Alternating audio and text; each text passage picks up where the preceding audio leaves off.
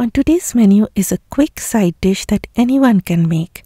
It looks beautiful, tastes delicious, and very very easy to make. Namaskar and welcome to Curries with Bumbi. Pan over medium heat and in goes a tablespoon of my homemade ghee. You can also use oil or a combination of oil and butter. Once the ghee melts, add a teaspoon of cumin seeds that is jeera.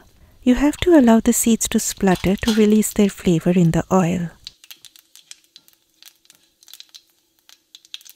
Then cauliflower enters the scene along with half a teaspoon of turmeric powder.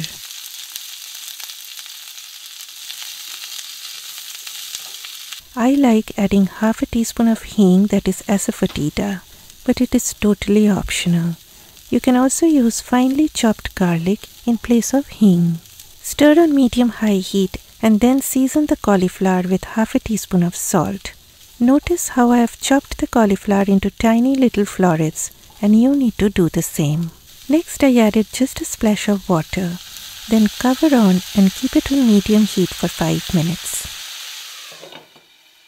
In the meantime, I will be crushing a teaspoon of black peppercorns. Please use freshly cracked black pepper for this recipe. We are looking for this kind of a situation. 5 minutes done, lid off.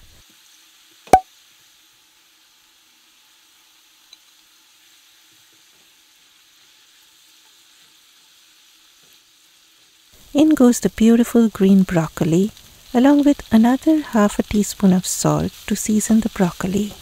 Always add the broccoli later like this as broccoli gets tender faster than cauliflower. If you add them both together, then by the time the cauliflower gets tender, the broccoli will turn all mushy-dushy with speckles of green florets strewn all around, making the whole dish look unappealing and disappointing. Okay, again cover on medium heat for 3 minutes. After 3 minutes, in goes about a fourth of a cup of frozen green peas. Next comes a very interesting ingredient that is gram flour which is also known as besan. It absorbs whatever remnant moisture is there in the pan and gives a slightly nutty flavor. If you do not have besan in your pantry, then no worries.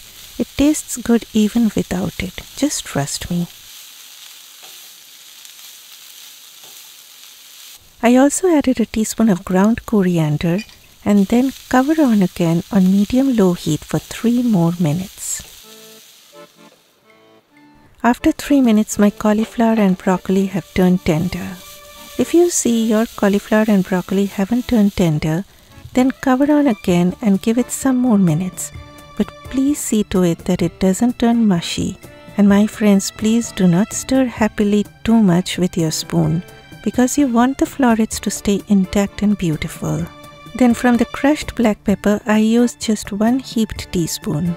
Save the rest for adding in any other recipe. Finally, a sprinkle of lemon juice for that freshness. My friends, please help me by sharing these videos and please leave a comment because your comments inspire me to bring more recipes for you and your likes make me feel happy. Bye bye.